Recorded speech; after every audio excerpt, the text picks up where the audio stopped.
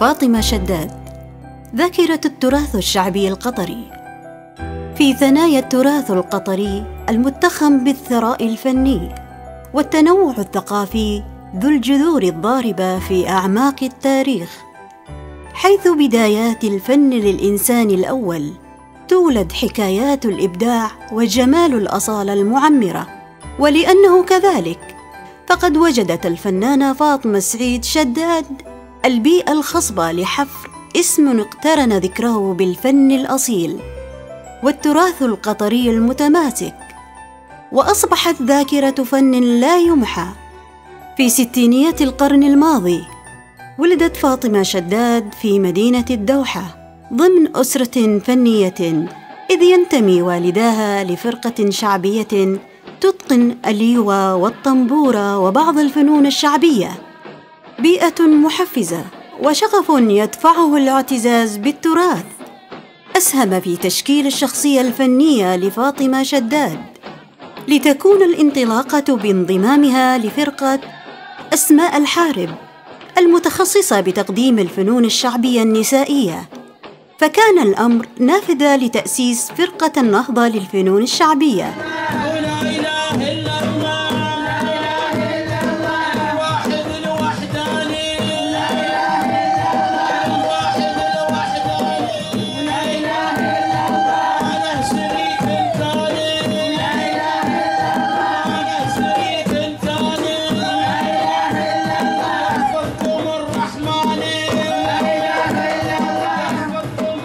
وبتشكيلتها النسائية تميزت الفرقة احتراف الآداء بمصاحبة الفرقة الموسيقية فنالت ثقة والدها بالانتماء للفن القطري أثبتت فعاليتها في إحياء التراث تفردت به رائدة الفن الشعبي.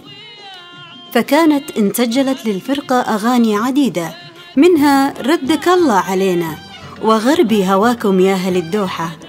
من كلمات وألحان الفنان القدير خليفة جمعان وهي التي ذاع صيتها وانتشرت في قطر والخليج ومعظم البلدان العربية.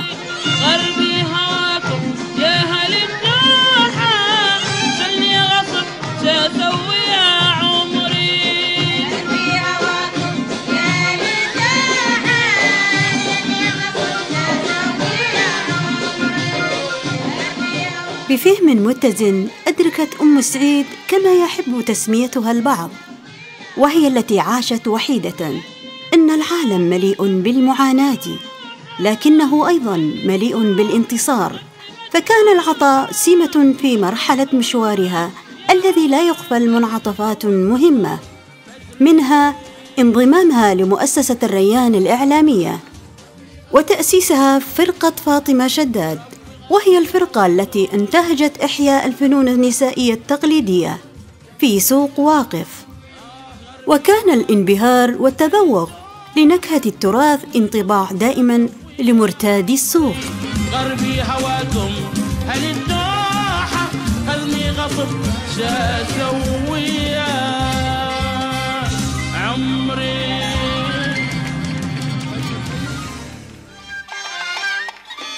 عرفت الفنانة فاطمة قيمة الحياة حين وجدت شيئا تناضل لأجله واستمرت خطوات الصعود والإنجاز التي لم تأتي مصادفة.